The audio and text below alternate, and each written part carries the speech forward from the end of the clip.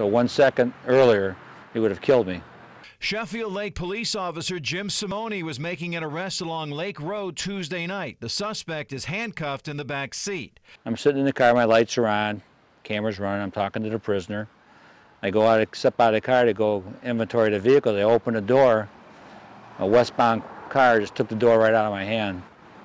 Stopped for a second and then took off.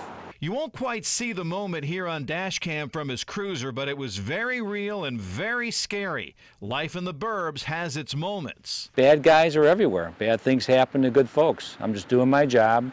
And fortunately, I didn't get hurt bad. I could have been killed.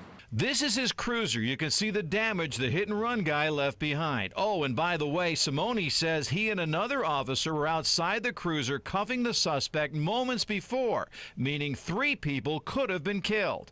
Thanks to dashcam video, police tracked down the hit and run driver. Charges are pending. As for Officer Simone, a day in the life. I, when I get to heaven, to ask God why. I mean, I've been truly lucky. I've been shot, stabbed, run down, things happen. But if you're if you're not working, you know, things are not going to happen. I'm going to work until the good Lord takes me.